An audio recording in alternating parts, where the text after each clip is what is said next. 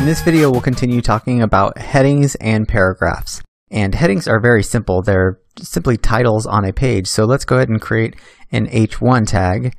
And let's just write in, hello, this is my first heading. And let's go ahead and save this and see what it looks like inside of our browser. So you can see that this is a large piece of text. So usually headings are used for titles on a page. And there are six different types of headings, and each one progresses down with H2. So if we wanted to have a heading tag 2, we'd say H2 and we could save this. And you can see that it just gets larger or smaller based on the heading that you use. If you're using a heading 1 or heading 2, it's basically just a different size. So let's go ahead and duplicate this and create a heading 6. And let's see what that looks like. So let's save that and refresh the page, and you can see that it is simply a heading. It's a title, but it's a lot smaller. So you can use anything from H1 all the way to H6.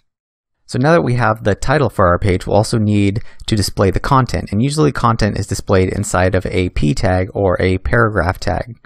So I can say, this is my paragraph.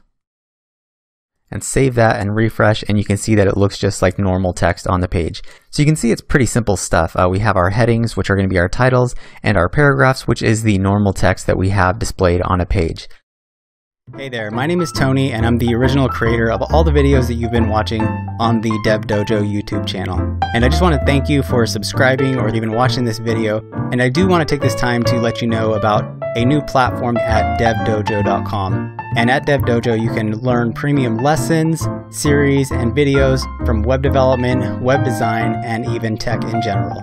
So I would encourage you to check it out and maybe subscribe to check out some of the premium videos, courses, and series.